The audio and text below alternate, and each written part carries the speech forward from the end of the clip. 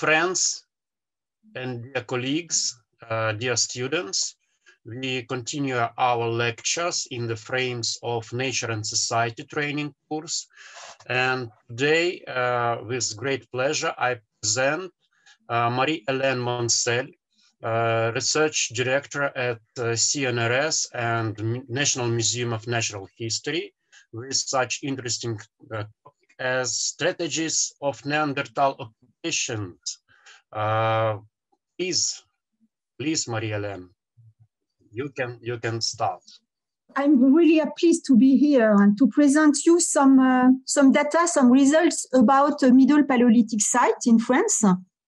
And uh, we are working on this site uh, from uh, now maybe 10 years, and we have now enough results to uh, to present both lithic technology, subsistence strategy, and data about the spatial organization in the site.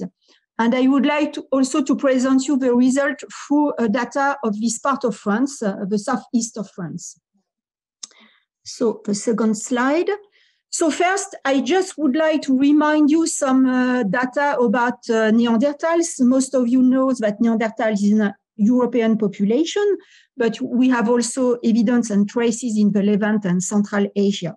But I wanted just to remind you that uh, we have uh, these uh, traces from 600 Ka and, and from DNA and 450 Ka from fossils.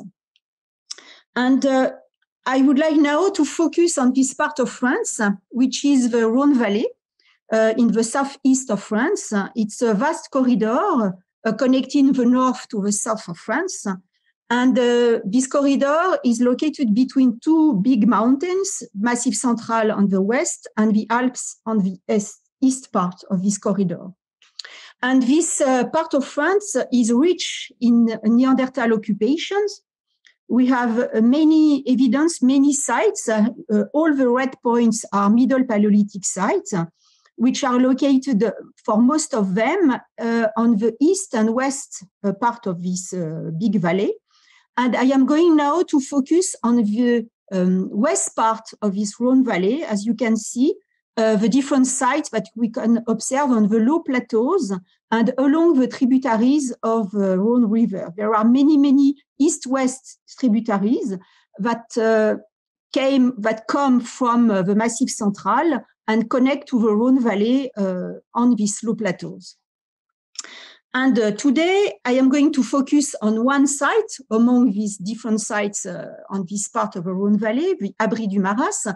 But I, before that, I would like just to remind you some data that we obtained in the past uh, in revising the different collection coming from this site, because most of these sites have been uh, excavated in the past. And we decided to study again the collections, both of bones and lithic material, and to try to to see if there was a kind of uh, um, type of Neanderthal occupation, a synthesis of, of, of the Neanderthal occupations, and we observe uh, different types of site according to the duration of the occupations. For instance, uh, we share sites between residential camps, long-term occupation, short-term occupation, and bivouacs, very short punctual occupations by Neanderthals. And when we connected the data from fauna remains and the lithic technology, we were not able to see a, a connection. It, uh, for instance, the duration of occupation are not related to a specific technology. Most of the sites, uh, in most of the sites, uh, Neanderthals use both, either Levallois technology or discoid technology, and uh, probably um, all what we observe is related to different traditions uh, living in this part of France and uh, mobility of uh, the occupation depending on the seasons and maybe on the game available around the site. And now I am going to focus on the Abri du Maras. You can see it. It is located along the Rhone Valley. Here is a detailed map. You can see the different sites a Middle Paleolithic site that existed along this uh, Ardèche River, which is the main tributary of the Rhone Valley, of the Rhone River. And the Abri du Maras is located uh, close to the connection between the Ardèche and the Rhone River. It is um, connected close to different other Middle Paleolithic sites, which are some are famous, for instance, Saint-Marcel site or Figuier with uh, also upper Paleolithic levels. And you can see on the left map uh, the location of uh, the Ardèche River, and on uh, the France map uh, the location of this uh, area in this part in this part of France, in the southeast of France. Here is uh, some photos of the site and the location, the detailed location of the site. The red arrow indicate the small valley, dry valley, where is located the site. And you can see uh, the direction of the, of the road um, arrow on the photo on the right side. You can see the, the small valley. And at the, the end of at the back of the photo, you can see the Ardèche River and there is a small uh, plastic um, blue cover that indicates uh, the location of the site. And you see down uh, what is the actual aspect of the shelter, which is quite completely destroyed, collapsed. Uh, and you see the location of uh, the excavation, of the current excavation. And you can see, I am going to explain uh, with the sequence that the shelter collapsed over time and during the, the, human occupation, it was probably a vast cavity and a big, and a big shelter uh, that collapsed over time. And uh, now it is quite an open air site. In the past, the site has been excavated uh, in the 60s by two different uh, people. And uh, in, in uh, yellow, I have um, indicated on the photo the location of the previous excavation, on the old excavation that actually only excavated the upper part of the sequence. And uh, in uh, 2006, I decided to, to work on a part which was uh, unexcavated in the past and probably uh, uh, well preserved. And I decided to open a large area, not only to understand, to better understand the, the sequence, of course, the lithic technology and the fauna remains, but also to try to work on the spatial distribution of the occupation. My aim was to try to understand in, if the activities of Neanderthals uh, was were uh, organized uh, under the shelter and and if it was possible, it will be possible, maybe would be possible to understand how uh, the, the occupation uh, was organized, depending, for instance, on uh, spots of, for instance, debitage, spot for treating, for managing the, the carcasses. So we decided to open a large area and it is indicated in uh, red on, uh, on, uh, on this photo. And this photo was the aspect of the site just before my excavation. Just to give you the idea of the number of squares that we have open on the site, and the thick uh, black line is it is the limit of the shelter from the actual shelter. And we have also opened two big trenches on the east and west part of the site to, try to understand also uh, the complete uh, sequence of the site and to reach uh, the limestone substratum because the, the the site is located in a limestone formation. Uh, here is a, a, a photo who, uh, which give, gives you the idea of the trench on the east trench. And as you can see, there are many blocks, big blocks, that indicate that the shelter uh, collapsed over time. And uh, it was possible at uh, on this photo, you can see the limestone substratum. So we were we were able to reach this substratum and to have an idea of the shape of this substratum. And actually the, the substratum is in steps and the steps uh, go up to the to the to the wall of the shelter and the occupation followed in the past the different steps uh, according to the collapse of the ceiling of the shelter and now you can see the, the bottom of the sequence and the oldest occupation uh, preserved in the, in the site. Here is the main, uh, the main section of the site. You have an idea, a picture of the site, uh, of the excavation. And I am going now to present you the, the big faces that we were able to see uh, during the past excavation. For instance, we were able to observe uh, in our part of the, of the site, of course, uh, a first big phase of occupation that has been named layer four, and two phases of occupation. It is indicated in red and uh, in green and red, 4.1 and 4.2, uh, which are dated to the stage isotopic stage three. So it's really young for the for the, this part of France, between four, uh, 40 and 60 thousand years ago. So very, uh, very young and late Middle Paleolithic occupation. And uh, between, uh, uh, under this layer four, there is a big collapse of the shelter, big blocks. And under this big collapse, another big layer, layer five, which is quite much older than the layer four, dated to the end of the isotopic stage five, around 90,000 years ago and it is in uh, yellow on, uh, on the section. And during this big phase uh, five, we have observed at least three big phases of, of, human occupation of the site for one, for two, and for three for the moment. But probably in the future, we were able to see maybe more human occupation because the, as you can see, the density of artifacts is very high and it is sometimes difficult to uh, distinguish different phases, different moments of occupation of a site. Uh, here is some photos that you can see uh, uh the big collapse that I explained between the layers uh, four and five. Uh, it is sometimes we can find blocks of more than two meters thick and large. So it was necessary to use dynamite to, to eliminate, to delete this big collapse. And you can see on the, on the photo on the right side, uh, the level 4.1, 4.2, the big collapse of the shelter. And under this big collapse, uh, the layer uh, 5. Here is another photo that indicates uh, this big collapse, and you can see the aspect of the sediment of this uh, site, uh, sediment made of silt and loess and clay, and of course, this big collapse that, that has protected, completely protected the layer five from, uh, from the post-depositional uh, processes. And for instance, for the layer four, uh, the, the material is less preserved, is not well preserved, and uh, it is completely different for the layer five, completely protected by the collapse of the shelter.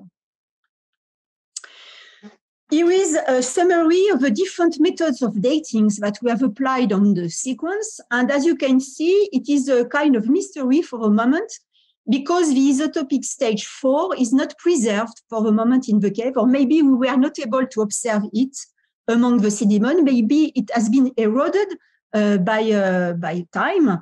And for the moment, we have two big phases of occupation, stage three and end of stage five it is quite very interesting because the idea is now is to compare uh, the human behaviors between these two phases of occupation. One, for instance, stage three is under fresh and humid climate, and the stage five is most under temperate uh, conditions. So it's really interesting to know how Neanderthals adapted himself to uh, these different types of uh, climate, con environmental conditions, and uh, what about the faunal, uh, the, the, hunting, which uh, species he has decided to, to hunt to hunt and uh, how he organized his uh, lithic technology according to the different phases of occupation. And we apply, for instance, uranium thorium, ESR, OSL, different methods that are for the moment quite uh, good to, to, uh, to, to date uh, these two big phases of occupation. We tried also in the past to find tephras, find volcanic minerals, because we are close to the Massif Central with many volcanoes, active volcanoes in the past. But unfortunately, it was not able to find uh, thick and fine levels of tephras, which could be dated and related to a volca specific volcano in the Massif Central. But we were, um, however, uh, able to see some volcanic minerals and probably uh, uh, propose a kind of paleomistral. Uh, mistral is a very uh, famous uh, wind, uh, wind deep and strong wind, wind moving along the Rhone Valley and a, a very cold wind. Now it's it's working now in in France, but it was probably the volcanic minerals were probably um, push put in the site with a kind of paleomistral uh, moving uh, into the Rhone Valley at this date, but it was not possible to, to uh, um, in detail dated these volcanic minerals, but probably moved to the site by paleomistral. So under cold condition, it was probably, the site was probably a kind of uh, refugee, uh, a part of the Rhone Valley with this cold uh, wind. And probably in this small valley in the Ardèche River, it was maybe good to, to settle and to be a part of from this uh, very cold wind. During uh, the excavation, we found uh, also uh, different uh, strange uh, lenses, which are probably either ash lenses or maybe unbuilt fireplaces with sometimes big charcoals. And these charcoals belong, most of them, to Pinus sylvestris and Betula. Uh, for uh, some which are which are able to determine. And we have also found maybe some strange uh, remains, residues, maybe um, fossil residues found outside the site and, and brought to the site to, uh, to use for fireplaces. And these uh, charcoals give us the idea of the uh, environment around the site and um, in, in part for the layer uh, 4.1 and 4.2. But we have also found some uh, big and beautiful fireplaces in layer 4 and 5, sorry, and it was the same charcoal, same types of charcoals found, and mainly Neanderthal collected um, fragments of Pinus and Betula to, uh, to, to make fire in the site. It was, there are no differences between the two layers. So probably they selected this kind of wood because it was maybe better for, for making fire. Here is the main section of the big trench on the east part of the site. And during the past uh, four years, we found um, unknown layer that we name layer six. And it was really important to find this layer because first there is evidence of human occupation in this layer. It is the blue point, the material blue point. But also we found uh, many uh, broken speleothems in this uh, deposit, uh, not in the layer five. It was not possible to find these deposits, only at the base of, uh, at the bottom of the layer five and uh, the layer six. And uh, these broken speleothems, uh, we have tried to date, and they are very old compared to the age that we obtained for the layer five. And probably they indicate a very vast cavity covering the, the end of this small valley and maybe on the both sides of the, the small valley. And uh, over time, this cavity uh, disappeared, collapsed, and only on the right side of the valley, um, it was the remaining shelter with the occupation of layer five and four.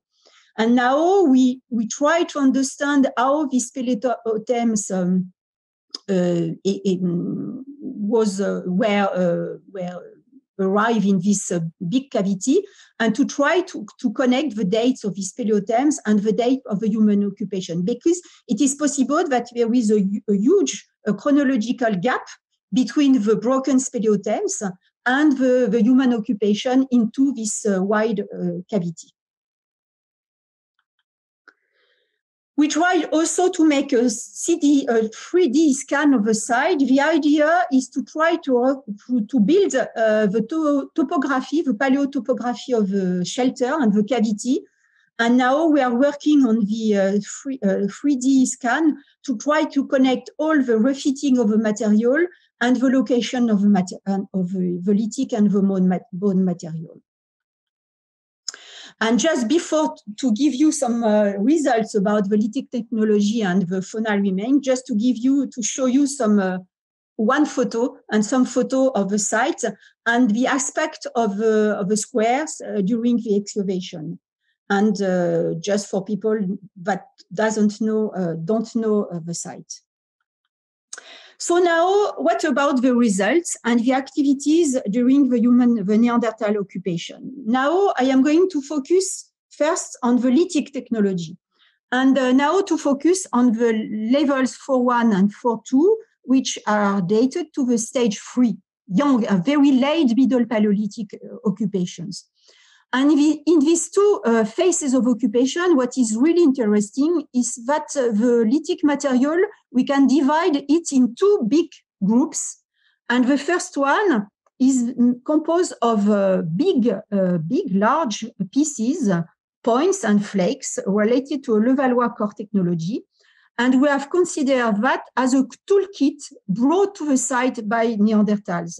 It was impossible to produce on the side this kind of material because the cores are for much of them very small, made on big flakes or maybe small nodules. And probably uh, Neanderthals brought to the side these uh, points and flakes, which are for most of them unretouched. As you can see, some can uh, measure most than 10 centimeters long. And associated to these big uh, flakes, there is some uh, there are some examples of cores, very small cores, and uh, a diversity of technology was performed on the site. Some are Levallois, but there are also other kinds of technology. For instance, uh, cores on flakes, or uh, with uh, different kinds of method organization of the removals. And we have also opportunistic debitage with, uh, for instance, of on flint nodules. Most of the lithic technology are made on flint, but we have also some evidence of local raw materials, for instance, quartz, quartzite, and basalt, collected in the river at the foot of the shelter. And most of the products uh, produced on the site are very small, around two centimeters, and uh, which are completely di different from the big flakes and points uh, brought to the site as a toolkit. The, for these layers dated to the stage three, the, the number of uh, tools is very, very low. Uh, you can see the, the, the ratio less than 5% uh, in the level uh, 4.2, but less than 3% for the level 4-1. Most of the flakes and the products are used and retouched. And I, I just put on the slide some example of the tools that we found on the, on the site two very small bifacial tools, which are very strange and completely different from the, the, the, the tools, which most of them are uh, scrapers. And we have also found two, or one of three Kina scraper, completely different also from the main production on the site. What about the location, the outcrops of the flint? Where are the flint coming from? Uh, the, the study of the origin of the flint is really interesting because now we see that Neanderthals collected the flint from a perimeter of three, uh, 40, um, 30 sorry, kilometers around the site, both on the north and the south. So they crossed the Ardèche River to collect on the South Plateau to collect some specific flint. And a large part of the large material coming uh, brought to the site are coming both from the south and the north of the site. So they indicate probably a kind of territory around the site and material moving uh, by Neanderthals in this, per, in this uh, perimeter and brought to the site, abandoned on the site after, after their use. And the geologist uh, was able to find 17 types of flint uh, both on the south and the north, uh, collected by Neanderthals. So uh, it's very interesting because it is in um, it is in a good it is quite as we observe in other sites local and semi-local gathering of flint around the site. Most and most of them and all of them collected on the right side of the Rhone Valley. We have no evidence of uh, crossing of the Rhone River, for instance, and to collect flint on the uh, um, left side of the Rhone Valley, only on the, this low plateau, rich of flint, it was easy for Neanderthals to, co- to collect different types of flint and under the form of nodules or pebbles. Uh, on this level, uh, we have also found many refits, and most of them are indicate a short distance. And it is uh, in accordance with idea of very short-term occupations.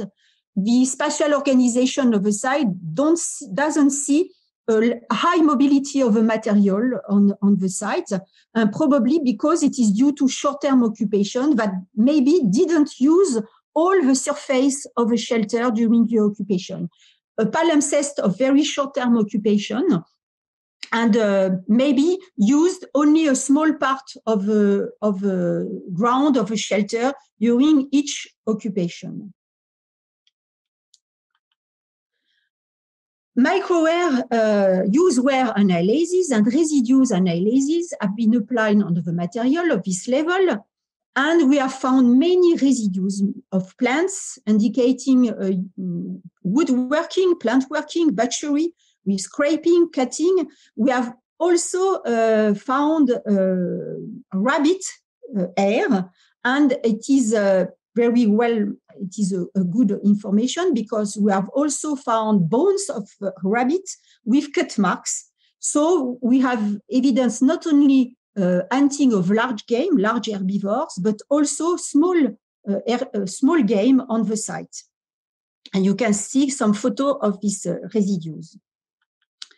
We have also found in one of these phases of occupation, the 4.2, a very wonderful uh, remain, a remain of uh, twisted fibers on a small breccia uh, on a Levallois flake.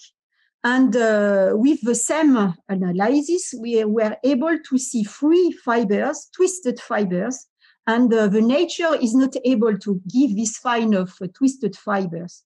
So for us, we have published that as the evidence of the ability of Neanderthals to, uh, to build a kind of cord, kind of cord, a fiber. And you see here uh, the photo with the Hirox microscope, but also with the microscope, electronic microscope, with details of these fibers. There are also some photos used, uh, uh, taken by a SEM microscope, and you can see the different, uh, at least the three fibers twisted, and after in S and then Z. And uh, there is a experimental uh, fibers that we obtain, but the same uh, type of material. And uh, here, are some photos that we uh, built from the same uh, photos that indicate the three fibers in S and after that in Z. And uh, we applied the spectro Mm, analysis and Raman analysis to find maybe some uh, remains, some components. And we found some cellulose and wood composite. It is badly preserved, but it is clear that it is not only a cast, because of course the kind of residue is a cast of uh, these fibers, but into this breccia, it was possible to find some uh, some um, composite preserved and to indicate that it was not something uh, recent, but indication of very old preservation of uh, fibers technology. And uh, it was a, a big, uh, a big discovery because in the past we were able also to find some, uh, maybe some possible other fiber, fiber technologies, but it was not um, good enough to publish that. But there are some photos that indicate that it, there is not only one piece with this fiber technology, but also maybe uh, many pieces lithic pieces flakes in the, in the side with this kind of evidence. And of course, uh, we can imagine many, many uh, uh, type of uh, use that we can make with this fiber technology, bags, cords, and so on, and uh, ability to count at least uh, three fibers and to understand the different layers on the tree and to find the best layer to, to, to build this kind of cord. And before this discovery, the oldest traces was found in, in the Levant and dated and very young, dated to around uh, 20 um, TA in the past, and, in, uh, and it was found in an upper Paleolithic site, not in the middle Paleolithic site. in the site, we, we, it was also able to, to see some projectiles on the triangular pointed flakes and uh, evidence after, after pieces. And uh, not only on Levallois points, also on uh, ordinary flakes and uh, with traces of, uh, the, after, the, after the evidence on tools, but also with residues of uh, plants on this kind of pieces. What about the layer five, which is much older than the layer four? I remind you that it is dated to the end of the stage five, around eight, um, 90 KA, and at least three phases of occupation. It is a completely uh, different technical world. Uh, because uh, the core technology is diverse and uh, the Levallois technology is uh, few represented, few used by uh, the occupation and a large diversity of core technologies. And the differences are also in the number of tools and the type of flint found on the site. There are also some large products, so probably brought to the site as for the layer four, but the occupation, all the data indicate that the occupation were probably uh, longer than the, for the layer five, and uh, four, sorry, and maybe could indicate why, why Neanderthals use, use different core technology and maybe made more tools on the site. And here is a photo of one of the most beautiful tools found, a bifacial tools made on a thin slab of flint. And this flint uh, was uh, collected on the south of the site, crossing the, the Ardèche River. Uh, the cores are small, as for the layer four, but the diversity, the technology is more diverse than uh, for the upper level. And most of them are related to the discoid types uh, made on flakes, on slabs. Slabs are more, much more numerous than for upper layer, probably because Neanderthals for this layer uh, collected more on the soft than uh, for the upper layer. And we have also found more pebbles uh, with traces of percussion. So we are now to explain why. Maybe it's due to the longer occupation of the site at this moment.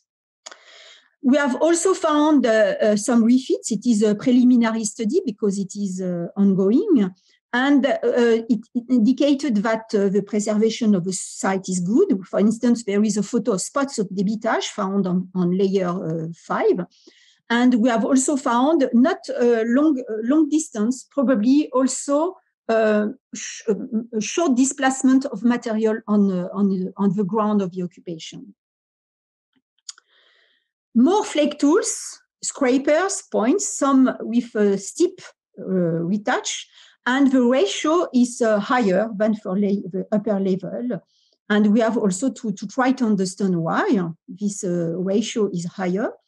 And uh, the flint, as I told you, it's much more located to the south. If you, you remind uh, the, the red cycle for the layer uh, four, now uh, there is also there was also collecting on the north, but a large part of the flint is coming from the south. So maybe it's due to another territory for these uh, Neanderthal groups occupying the site, or maybe it's due to a different land use patterns and maybe more uh, groups turn to the south and using um, the, the, the, left, uh, the, the, right side of the Rhone. Uh, we are not sure that maybe uh, some evidence of a crossing the Rhone for the first time, but it is not sure. Uh, we are now working on two types of flint, the Turonian and Bedoulian flint, that could come from the left, uh, the right side, the left side, for, sorry, of the Rhone Valley, but it is not sure. But as you can see, there are much more uh, types of flint, uh, 34, quite the double uh, number of types, and uh, collected both on uh, terraces but also on the plateau. So they indicate that Neanderthals was a, a collector. They collected all types of flint that was that it that existed in the in the in the environment around the site. So maybe uh, that give an idea of the mobility of these human groups in this part of France and collected uh, collecting everything, uh, pebbles, uh, nodules, slabs, and uh, moving with these different uh, flints and bringing to the site some big big pieces according to the needs of the occupation. We have also applied uh, use-wear analysis, residues analysis, and we observe the same diversity of activities. So the climate and the environmental conditions uh, don't uh, explain the differences of the activities, uh, differences of the lithic technology. The activities were the same, plants, woodworking, battery, and we have also trace and packs on points, so probably projectiles. So the activities were not different according to the climate and uh, the species. We have also applied a new methodology, pollen, what is named the pollen washes. Uh, we have uh, we we wash uh, the surfaces and the retouch of of flakes, and uh, each uh, wash is studied to find maybe some pollens or maybe different uh, proxies, environmental proxies. And on this flake and scrapers, we have found uh, an aggregate of mushrooms which are related only to roots of Alnus. And Alnus now is it is impossible to find Alnus on the site because it is completely dry. Only Alnus are located along the Ardèche River. And this type, this type of alnus uh, doesn't ex- exist now nowadays along the Ardèche River. So it is uh, probably the proof of, of uh, work uh, along uh, along routes of alnus. And according to uh, bibliography, roots alnus could be good for medicines. So we we try to to propose this hypothesis maybe of work of alnus for different uh, activities, not only to to, to, to find some uh, some uh, alimentation, but also to diet, not, not only related to diet, so maybe to other kind of activity, and why not medicines. What about the faunal remains? The faunal remains, uh, there is a kind of synthesis of for, for first of different species.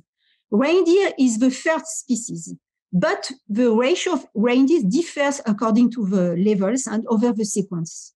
For the upper level, reindeers is the main, main uh, species hunted by humans. But if you go down to the site, the ratio of uh, reindeer decrease and probably in relation uh, to the climate, which is more temperate at the bottom of the site. But there are also uh, horses, cervids, bisons. For instance, in the level, the upper level, eight species, and level five, 11 species. So there is a different of quantity of species. And in the bottom, in the layers of the bottom of the sequence, the diversity of species is much higher, maybe um, representing different kind of activity and subsistence behavior. In the upper part of the sequence, the reindeers is uh, the dominant species and kind of specialized activity related to maybe big herds of reindeers living around the site at this uh, during human occupation. And there is no trace of carnivores, so all the fauna remains is related to uh, human activities. About the mortality profile and seasonality, you can see on the diagram that most of the levels are located on the right and downside of the, of the, of the graph and uh, it is due so to human occupation. And you can see different uh, seasons of occupation. For the layer uh, four, it is mainly during autumn uh, and especially for the reindeer hunting. But if you look at the layer five, uh, older layer, the occupation is more related to uh, the summer, where the layer four it's much during the autumn. So there is a difference in seasons, even if we have evidence of occupation of, of the site at, at, the different seasons. But there is a main season of occupation for layer four, autumn, and for layer five during summer. And uh, it was due to, uh, it was made by the, the study of the teeth of the animals. About the surface, bone surface modification, uh, of course, uh, the layer four is uh, less preserved than the layer five due to the big collapse that protected the site. But we have evidence of uh, large intensive activity by humans on the site with skinning, evisceration, defleshing, and uh, all the species were not brought to the site. Uh, for instance, the biggest species were brought in parts, not all the carcasses, but for the smaller species, they were brought complete to the site uh, to, to be managed on the site. And few, uh, of course, carnivore modification, quite not uh, on the site. I, I, just want to give you an ideas of, uh, of the bones when we where we found on the on the site. Much of them are really broken because we know that Neanderthals um, uh, loved, liked uh, the marrow. They broke, they mostly broke the bones, but we also found some mandibules, and it was very important to, to estimate the seasonality and uh, of in the site and the age of the animals. Here is some uh, data regarding the fracturation for marrow. We have also burned bones, we have cut marks, many cut marks, and uh, most of the information are given for the large species, of course, reindeers, but also horses, bisons. And just I remind you the cut marks on rabbit bones. We have also tried to estimate, and it was a PhD of students uh, to, to work on the idea of uh, the hypothesis of butchery traditions on the site and uh, the student applied on level 4.1 and 4.2 and compared to Italian site as well.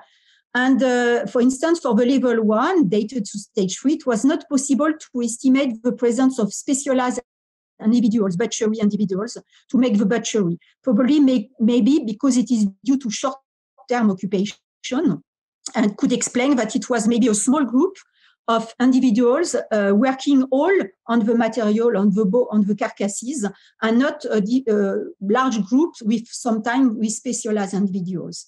And uh, it was different for other sites. For instance, it was different, for the layer 4-2, maybe with a specific treatment of some part, parts of the carcasses. So maybe different size of group occupying the site according to, to, to the period.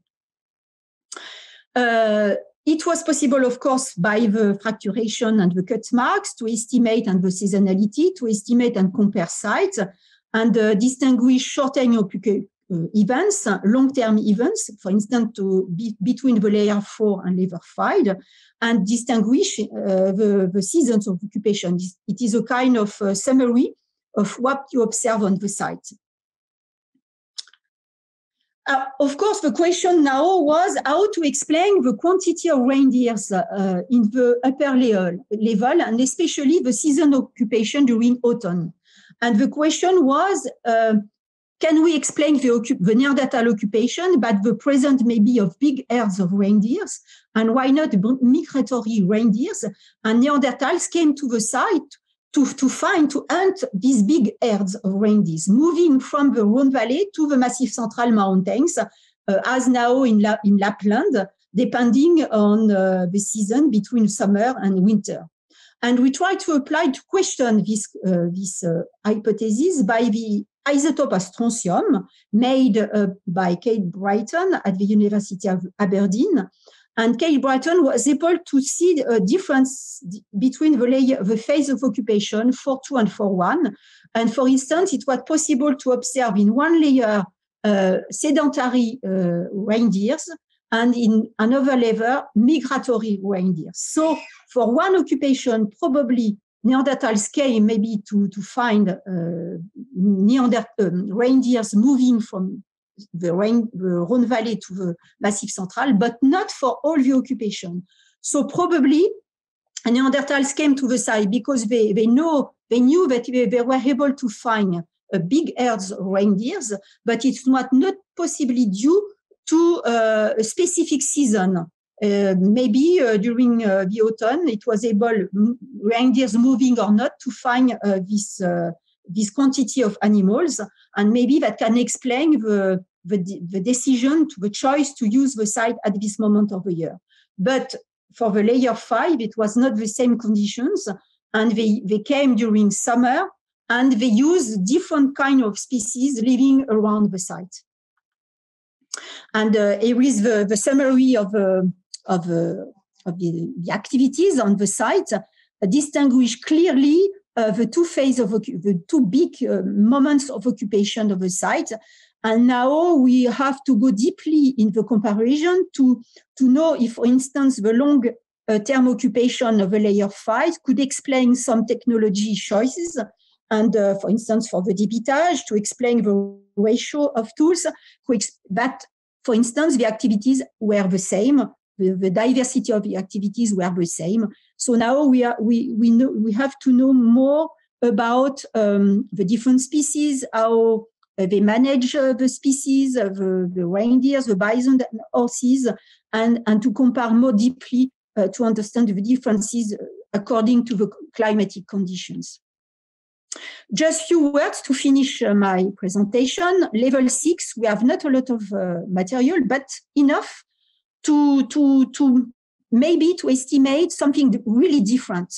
Much more quartzite with uh, big pebbles introduced in the site coming from the Rhône Valley, much more quartz. So maybe a quite different world, maybe, maybe much older. You remind maybe uh, the age of the speleothems. Maybe uh, it is not uh, there is not a strict relationship between the material, the human occupation, and the speleothems. But we have now we have to excavate more this uh, layer to to to yes to find more material to know more about uh, this specific uh, occupation. For instance, on the left you have a big big cobbles in quartzite, and it it is a core to produce big flakes as it is close to uh, old site that we have excavated in the past uh, in the north of this part of France, the site of Payre, dated to the stage seven. So why not to imagine that this occupation is much more older, much older, and maybe why not to date to the occupation seven? But I know that the material can cannot be dated. The lithic material cannot be uh, dated only uh, by the presence of quartzite. And to finish, we two years ago we have found a Neanderthal remain in the layer five, and this fragment of humerus uh, broken, uh, but without cut marks or evidence of uh, human activity. But it was found among uh, animals remains, so probably it was uh, uh, eaten by Neanderthals living on the site. And uh, the new results uh, provide new data about the mobility of Neanderthals in the site on, on this, in this part of France. You, rem you remember that I give you three types of site according to the duration of the occupation, the mobility of uh, Neanderthals.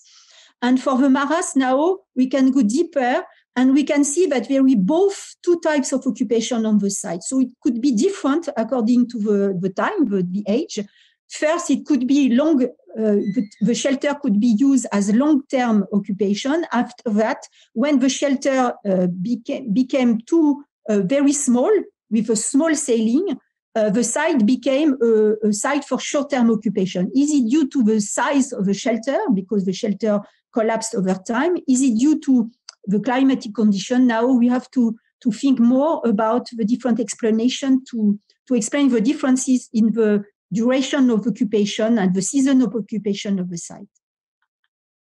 And I finish now this beautiful uh, photo, uh, all photo from Burian. Maybe some of them uh, know this, uh, these uh, painters, which represented uh, Neanderthals a long time ago.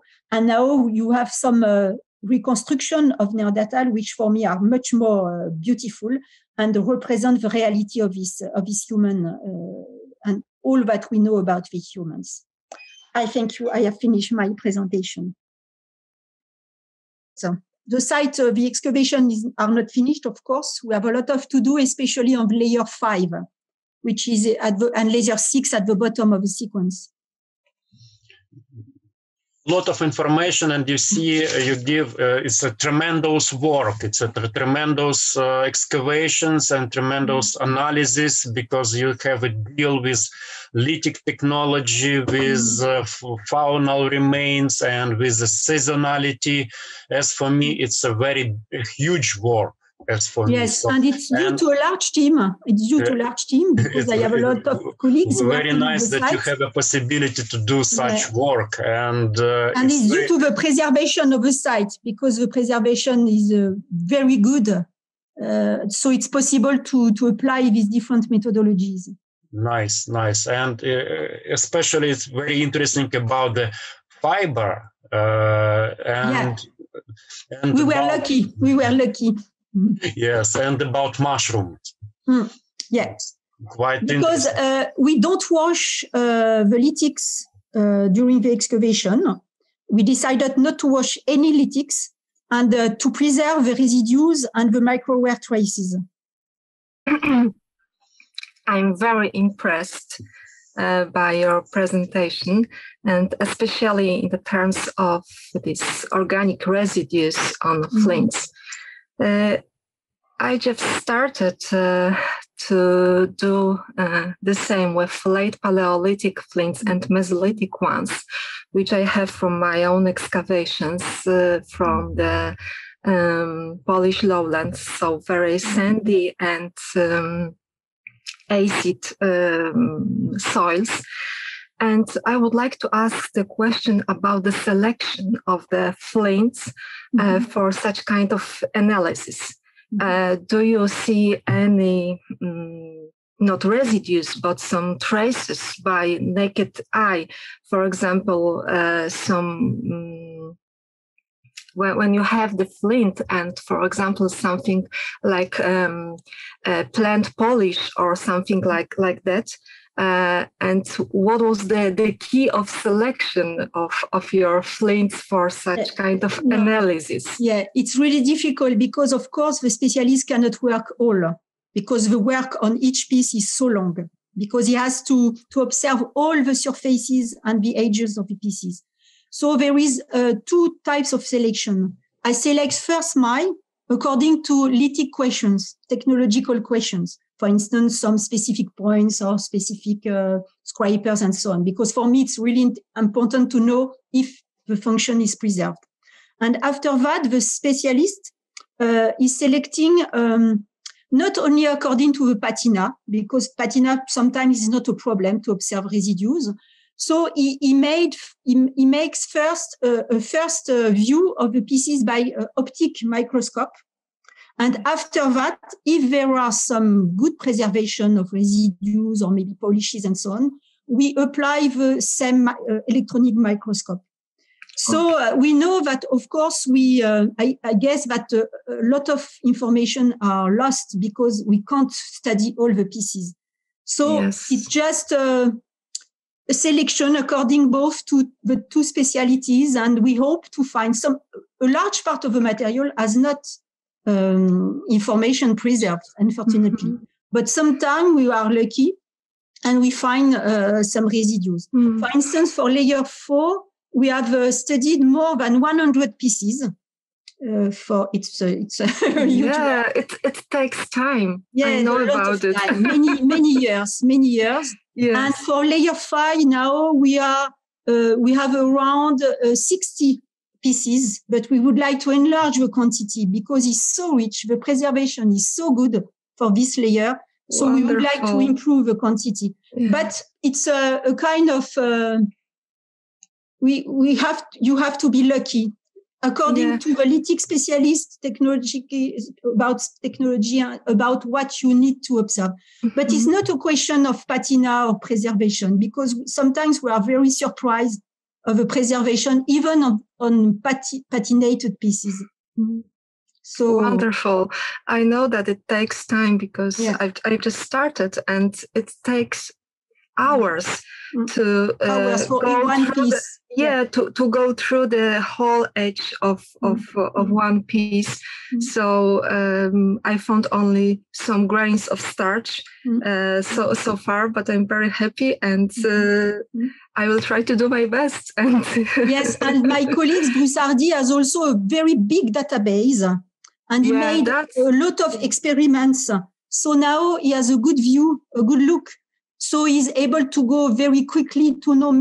He take. I know that he take. He takes many photos with the optic uh, microscope, uh, and after that, he, he, he, can think about which is the best pieces to go to the electronic microscope and why not, and to focus on some parts of the material. But he has a big, big, big data data set, and yeah, uh, the, the, referential base. Yeah, yes, it, I think it's essential to to make this uh, this kind of study it's a long, long work in the past to make, uh, to make this. Thank you uh, very much, and congratulations. Thank you. It's not me; it is his work. Yeah, uh, Marie-Hélène, congratulations! It's, it's really a great, uh, a great work and a great site. And my question, uh, you you have uh, said you have talked about uh, short duration and long duration. I I don't know uh, four uh, four yes, four short duration, short, five long duration. Long.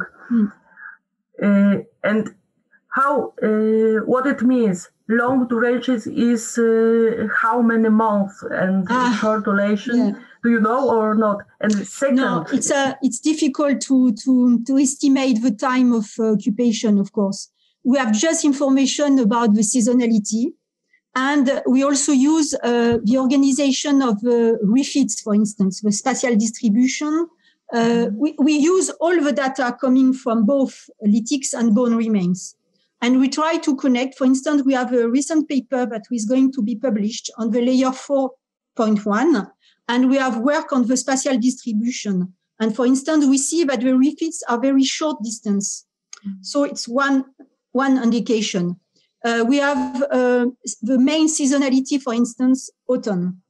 Uh, we have a quantity of remains and many, many, but it is, in my opinion, really difficult to know if there is maybe one month or one week uh, and many weeks, of course, uh, regular occupation at the same times because the main occupation is during autumn. So uh, it's uh, it's really difficult. It is just an estimation to compare two phases of occupation. Mm-hmm. It's really really difficult to estimate. It's it's many information coming both for lithics and uh, and the faunal remains. And for for instance, it's really diff- different what we name bivouac punctual occupation. For instance, we have two sites in the same part of France where uh, Neanderthals only brought toolkits on the site, quite any evidence of uh, debitage on in situ. And uh, in this case, we are sure that it was only very punctual, short, very short, short occupation that we named bivouacs. So it's completely different what we have at the Maras, because at the Maras we have a debitage on site, uh, we have uh, uh, the, the, the, proof of the graffiting, of retouching the material. So we tried, actually, we tried to compare the site to classify the site. It is the comparison between many sites to, to, to see, to, to know that maybe this one is a longer occupation and this one is a shorter occupation. Mm-hmm. It's much, much more due to the comparison between collections and the occupation to, to compare. But it is quite, maybe, in my opinion, it's quite impossible to estimate the exact time of the mm-hmm. occupation, the duration of the occupation. Unfortunately. thank you very much. Okay, thank you. Thank you very thank much, Marie-Hélène. Thank you to you, Pablo, to have organized this, uh, this online uh, lessons. It's very good.